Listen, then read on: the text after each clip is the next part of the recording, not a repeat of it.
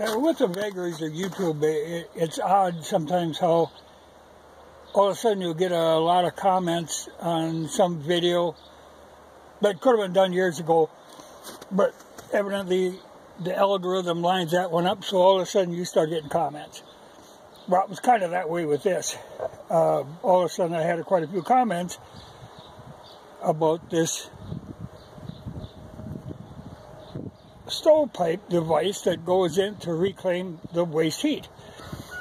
Well, you know, I, somebody, I think it was like three years ago when I made it, and I've used it ever since. Now I'm making another one.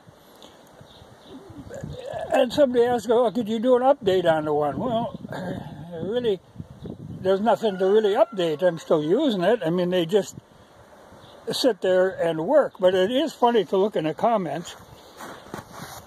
Uh, some of the nonsensical sort of comments.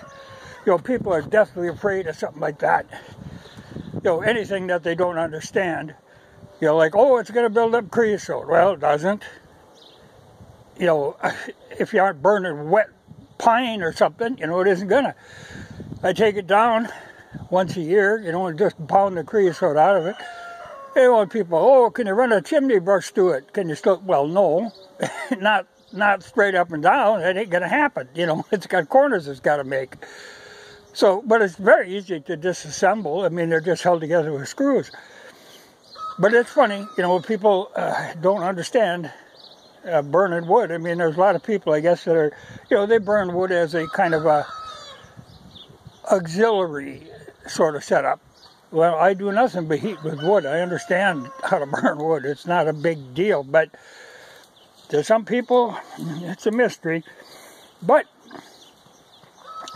this isn't some new invention of mine. I mean, this is a time-tested thing. Uh, the system has been around for a hell of a long time.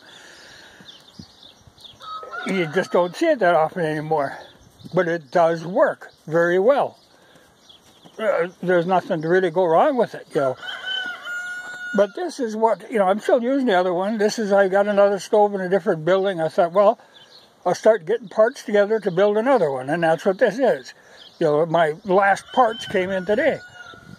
So I'm going to slap it together. But,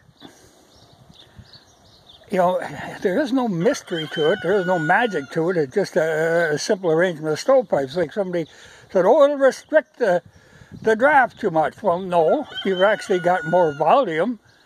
You know, it's it's just having to make two corners on each side, but they're very gradual corners. It isn't going to restrict the, the flow at all. You know, it's just that you're adding surface area to it. But that's funny, like I say, uh, comments can be weird sometimes, and it can be good sometimes. Sometimes they're just, uh, people don't know what they're talking about. The one thing, I wish, know, this is that transgender deal that you need to, because you end up with two females, you need the double male. But I wish, years ago, I was at an, uh, it was a, a, hardware store that was closing, an old, you know, small town hardware store. And pipes used to come without crimps on it.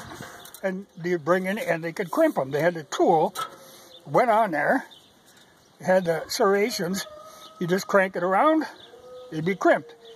Not enough crimp, tighten her down, crank her again. You know, it, it was a very simple tool.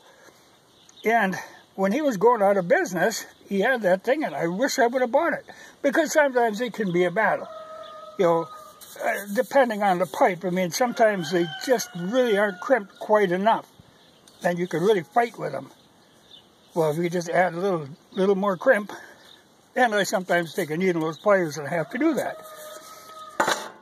But these are all, again, you know, you can go back to the original video, and I, like I said, I did an update on it once already.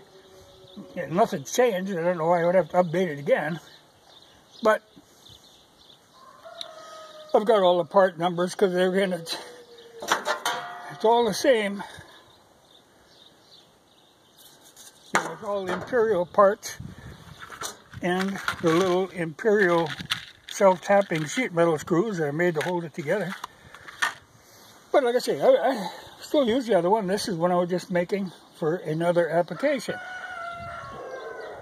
So I just watched, and over the last six months, I've been gradually buying up pieces. Whenever I get a good deal on a part that I know I need for it, I buy it. So I've got this one set up. I don't even know, you know, we're to the end of winter kind of now. I don't even know that I'll install it, but I'll have one ready to go for next year. But no big mystery and not a, a big threat to your security. It doesn't burn your house down. Just quietly sits there and does the job it's supposed to do. And that has, has been doing for, like I say, over 100 years. You know, it's not some wild new invention. Which, like some of the best things are, the things have been around forever.